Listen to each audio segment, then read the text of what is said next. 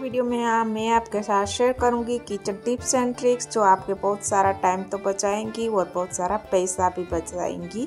यहाँ पर आप देख सकती हो जब भी हम इस तरह के शुगर या गुड़ का लेते हैं तो कभी कभी हमें उसमें आसपास या अंदर चिटिया दिखाई देने लगती है।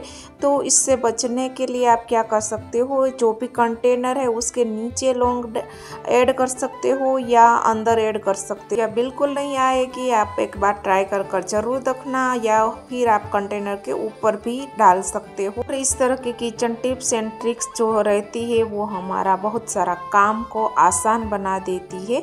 अब नेक्स्ट चलते हैं दूसरी टिप्स की ओर। तो यहाँ पर देख सकते हो कभी कभी हम चीज़ें ले लेते हैं और थोड़ा बहुत बच जाता है तो हम इस तरह से रबर बैंड से सिक्योर कर देते हैं। पर पैकेट ही छोटा रहता है तो रबर बैंड भी अच्छे से हम लगा नहीं पाते। तो आप देख सकते हो, इस तरह का पैकेट था था और इसमें कोई भी नोट लगाने की जगह वगैरह कुछ भी नहीं था तो आपको इसको सील पैक करने के लिए बस नाइफ को गर्म कर लेना है और एक न्यूज़पेपर रखना है और ऊपर से आपको नाइफ को प्रेस करते हुए इस तरह से नाइफ को चला देना है।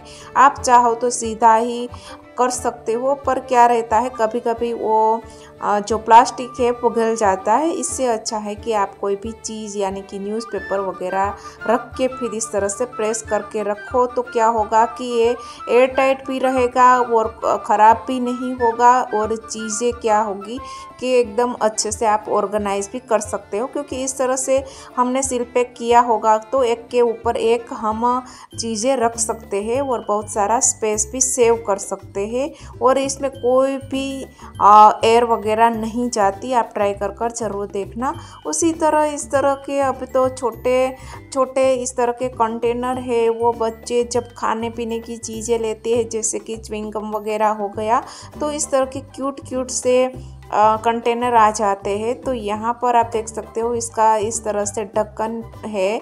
तो यहाँ पर मैंने सोचा कि इसका रीयूज़ करते हैं और ऊपर से इस तरह का आ, बहुत ही अच्छा सा मुझे लगा। तो ये दो है मेरे पास इस तरह का एक स्प्राइट वाला एक कोका कोला वाला। तो इस तरह की छोटी मोटी चीज़ें हम पीस कर रख सकते हैं चाहे चीनी हो या चाहे सोल्ट हो, इस तरह का मुखवास वगैरह या फिर इलायची का पाउडर हो, वो इसमें भर सकते हैं। और नेक्स्ट टिप्स है कि यहाँ पर आप देख सकते हो, एक बिस्लरी वाटर बॉटल है तो वाटर बॉटल का जो लेबल है हम निकाल लेंगे और आगे की ओर से हम कट कर लेंगे और फिर इसका यूज़ हम करेंगे। ख़ास तौर पर जो पीजी हॉस्टल वगैरह में रहते हैं, उसके लिए बहुत ही टिप्स काम की है तो इस तरह से निकालने के बाद जो भी थोड़े बहुत हम मसाले घर पे रखते हैं कभी कभी हम खाना वगैरह बनाते हैं तो बहुत ज़्यादा मसाले तो हमारे पास नहीं रहते और उसके प्रॉपर ऑर्गेनाइज़र भी हम खरीदना नहीं चाहते, क्योंकि वो टेम्पररी बेस पर सारा कुछ रहता है। तो इसके लिए आप क्या कर सकते हो? इस तरह से वाटर बॉटल को आपको ऊपर से कट करके इसमें इंसर्ट कर देना है और फिर आपको ऊपर से खोल देना है और आप चाहो तो ऊपर केप भी लगा सकते हो। पर यहाँ पर क्या रहता है कि प्लास्टिक मेरा थोड़ा थिक वाला है तो मेरी जो केप थी वो आ नहीं रही थी। तो आप क्या करो कि इस तरह से ऊपर जो कभी कभी बार आपको यूज़ करना है तो ऊपर का पार्ट इस तरह से खुला रखो, वरना आप क्या करो, ऊपर की ओर ट्विस्ट करके मोड़ दो, जिससे कि क्या होगा कि अच्छे से वो सिक्योर रहेगा और जब भी निकालना है तो इस तरह से खोल दो, वो चीज़ों को निकाल लो। तो इस तरह की छोटी छोटी चीज़ें एक ही ऑर्गेनाइज़र में रखते हैं तो भी अच्छी लगती है, क्योंकि ज़्यादातर मसाले हमारे पास उस बेस पर रहते नहीं। यानी कि जब हम पीजी वगैरह हॉस्टल वगैरह में रहते हैं तो वहाँ पर उसी तरह इलायची को जब हम पीसते हैं मिक्सर में तो उसका फाइन पाउडर नहीं बन पाता, थोड़ा दरदरा सा बनता है तो बस एक ये पेन ले लेना है, इसमें थोड़ा सा घी ऐड कर देना है, इलायची ऐड कर देनी है, मीडियम जो फ्लेम है उसके ऊपर आपको इसको चलाते जाना है तो आपकी जो थोड़ी देर बाद आपकी इलायची है वो इस तरह से फूल जाएगी, और फूलने के बाद आपको इसको फिर ठंडा होने के लिए छोड़ देना है। ठंडा होने के बाद आपको मिक्सर जार में थोड़ा सा डालना है। शुगर और ये डाल देनी है इलायची और फिर इसको पीस लेना है तो एकदम ही फाइन पाउडर बन के निकलेगा। जो भी इलायची के छिलके वगैरह है, वो भी अच्छे से पाउडर में कन्वर्ट हो जाएगी।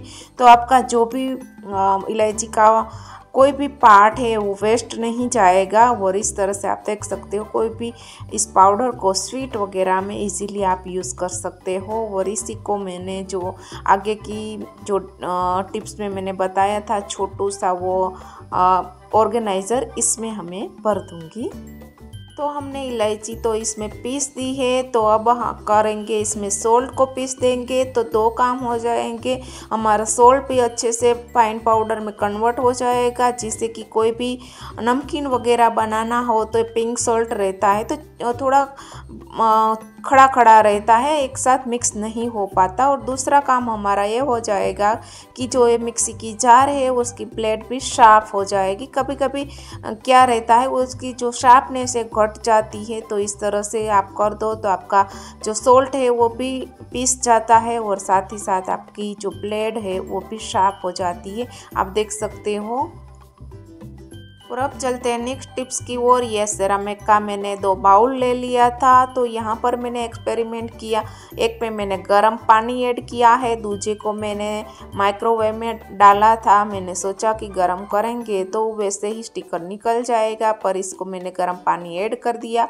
इसमें उसको मैंने ओवन में रख दिया और एक दो मिनट चलाया, फिर भी उसका स्टिकर जैसा निकलना था, वैसा निकला नहीं था। तो कभी कभी रहता है ना कि वायरल हैक्स होते हैं, वो भी काम नहीं कर पाते। जो प्रैक्टिकल हैक्स रहते हैं, जो प्रैक्टिकल टिप्स एंड टिक्स रहती है, वो ही काम में आती है। तो यहाँ पर आप देख सकते हो, गर्म पानी वाला जो मेरा बाउल है, उसमें से गर्म पानी हटा देंगे और खाली हाथ थोड़ा सा लगाया तो भी ये सारा ही जो स्टिकर है, वो एकदम रिमूव हो गया था। और फिर जो मैंने माइक्रोवेव वाला है, उसमें भी फिर से मैंने गर्म पानी ऐड किया और उसका स्टिकर भी मैंने निकाला है।